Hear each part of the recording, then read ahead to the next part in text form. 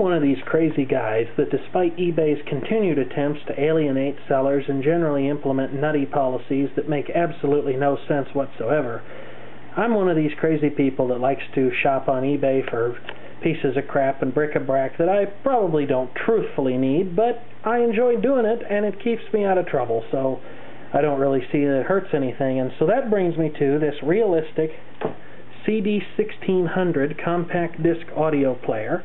I've wanted to gather a few more component CD players for use with some of my stereo setups over at the Roach Palace.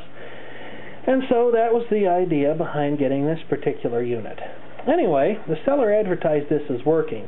And I can understand when a seller really doesn't know how to operate something or doesn't understand that, you know, maybe an item is not perfect. Honest mistakes happen. But when something like this arrives in the mail and I take it out of the box and I discover that I can do that, I think there's a bit of a problem.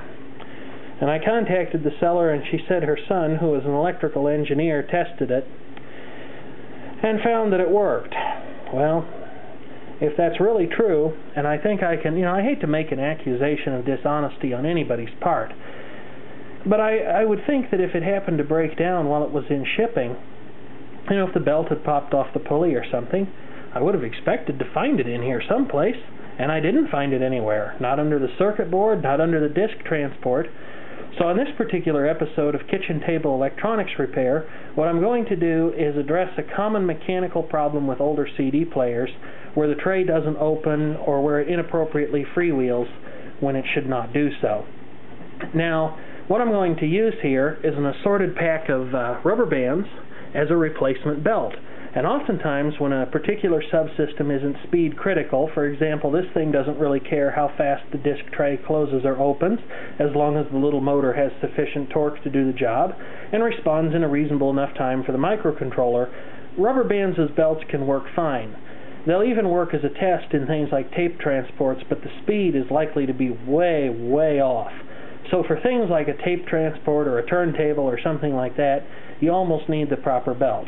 But for something like this, or just for a quick test, you can use a cheap bag of rubber bands. I gave a dollar for those. And find out how much work you have ahead of you in terms of a repair. But to do this repair, we need to get the disk transport out of the machine so I can take the tray out and get at the little motor that drives it in and out and see what exactly is going on here. It's One of the first things you need to do before you've turned the first screw inside is to disconnect all the little electrical plugs. Now most of these will be the ribbon types that plug into spring-fit sockets, in which case you shouldn't get too rambunctious with them, but you also need to be careful with the ribbon type because they can be fragile as well. And you wouldn't want to rip a whole bunch of wires out of a ribbon connector like this one because that's a good way to ruin your whole day and give you a lot more than you want to do for an afternoon. Now most devices typically have connectors that are keyed or they're only long enough to fit in the right places. But if that's not true of yours or if you're not sure you can get them back correctly, take notes and make a diagram of how they were originally plugged in. Because if you get them plugged in incorrectly, the best case is the device won't work. The unfortunate but more common consequence is that some really expensive, hard to get semiconductor devices or other components have blown up, and now you have a major problem. With the transport out of the unit now and the sled fully pulled out, we can see a lot more than we could before. There's the laser diode on the pickup. There's the cabling leading to and from the laser pickup. Here's the little motor that runs the pickup around to find the various tracks and to track the CD as it's playing. And then here, of course, is the spindle motor. And all of these are pretty cheap permanent magnet DC motors because really no more than that is called for to successfully play a CD and there's a gear reduction drive on this motor to improve its precision. Better CD player designs typically use a voice coil or magnetic rail to drive the pickup back and forth and seek very quickly and very quietly. But this is just a cheap Radio Shack CD player, and so it doesn't have anything so fancy. But there's the motor on the end that runs the tray in and out. And if you look in there, and it's hard to see on the camera, but there is definitely no belt here. I'm not sure where it's gone, but it's definitely not there, and it looks like it would have had a hard time escaping from there. Now, the, in order to get the tray off, there's usually a set of stops at the end here that you have to flip out of the way or press or deactivate or, or change in some manner so that this sled can be removed from the rest of the transport to let you see the drive that runs in and out below. Now this is a somewhat timing sensitive application here. When you run the tray out, you need to be careful not to turn the gear train around too much under here because you may mess up the timing which is frequently interrelated with the disc clamper here. And then you'll cause yourself a world of hurt, but it's not as bad as some things because I have knocked these out of time a time or two and it was no big deal to fix it as long as I thought about what was going on and exactly when this thing needed to go up and down to properly clamp the disc in preparation for playback. Now this thing does not have a particularly nice way of freeing the disc tray. It's only got a simplistic plastic notch that fits into a matching tab, and so getting this off of here is going to be a little bit difficult. Well, I'd have to issue a partial retraction for my earlier comments because right there is belt sludge. But the moment you touch it, and I hate to do this, that's what it turns into. So there's a belt in here. I don't know how it could have disintegrated so quickly in just a hot garage. I've never seen one this badly degraded before. But there's the motor shaft, and there's the little gear. And Radio Shack did have some smarts in this design to avoid destroying this little in and out limit switch here that tells the microcontroller where the tray is. I actually had to spread these out a little bit and then lift the tray up at one end and pivot it up and away from the unit in kind of a folding motion like this. Otherwise, I'd have tweaked that little that little switch right there right off of the board and I'd have had to fix that and that wouldn't have been a lot of fun. Fortunately, this little gear that was blocking the tray comes right up and off after you release this little locking tab over here. So now the thing is, find a rubber band that fits the application in mind here. I'm not sure there's one that's small enough in this particular package, but if there's not, I can always cut one apart and glue it together as a sort of redneck repair. Here's the disc tray back in place, and there is a new belt down there made from a rubber band. And this probably isn't a lasting term fix because in my bag of rubber bands, which I paid a whole dollar for, so I guess my expectations were rather higher than they should have been, but in the entire bag of rubber bands, there were none that were small enough. And so at first I thought, well, you know, I'll cut one of the smallest ones down to size.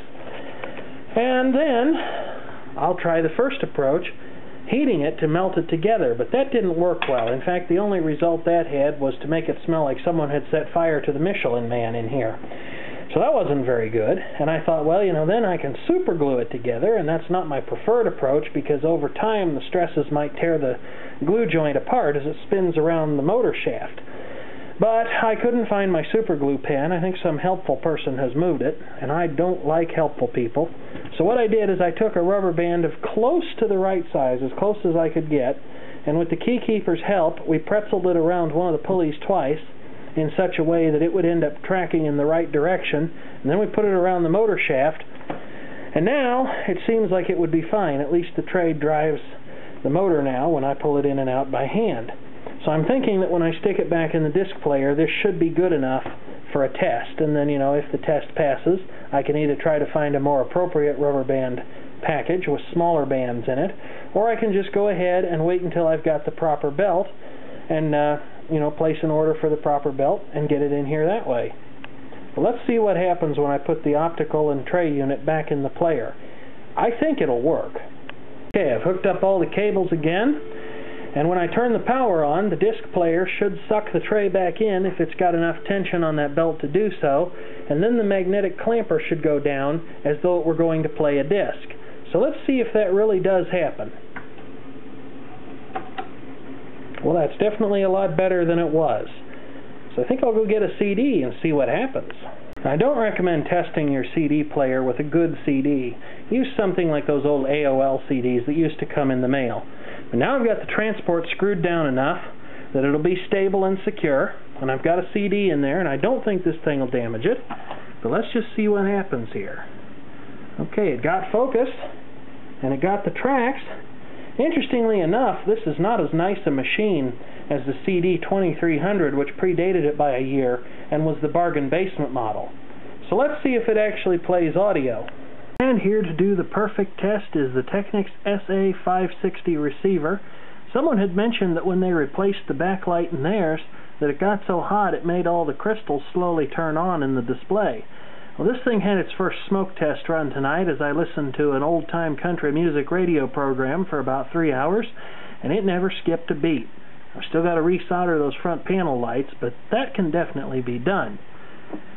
Anyway, let's try out this stereo, um, stereo, this CD player, which has an interesting looking display. It's actually colored not unlike a, a lime soda of some kind, or a pop, or whatever you call it in your part of the world. And it's actually backlit. It's an LCD, and it's actually been backlit by a conventional set of grain of sand light bulbs, which when they fail, it also ought to be fun to replace them. But fortunately, they're on a circuit board that's separate, so in theory, they could be removed. I think that it'll play a CD without any problems, so let's just see what happens here. That definitely ran in there okay.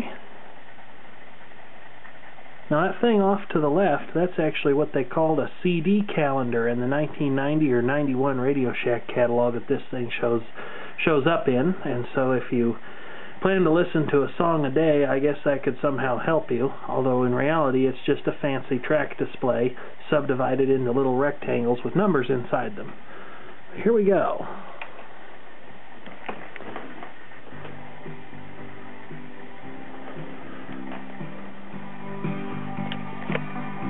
See if it'll track okay across the disc. If the time display works like it ought to. Yep, that seems to be okay.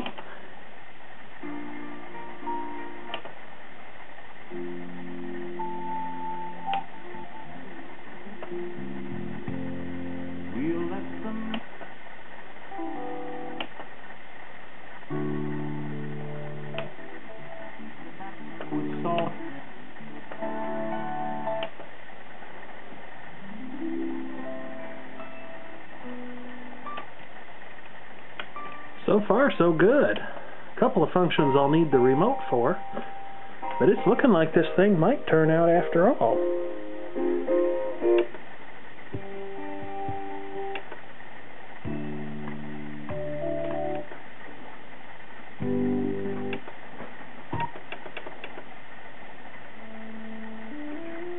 Try running it back to the beginning here. Some players will loop around, but this thing's logic doesn't seem to allow that, so have to go track backwards all the way. But yeah, it seems to be working great. So there it is, all fixed up and ready for use.